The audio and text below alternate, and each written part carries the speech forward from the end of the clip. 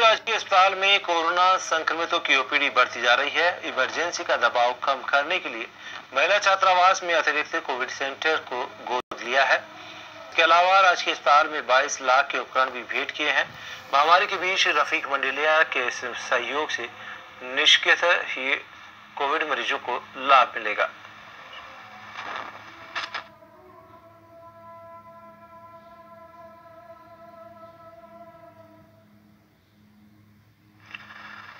धौलपुर ज़िले की कंचनपुर थाना पुलिस ने कार्रवाई करते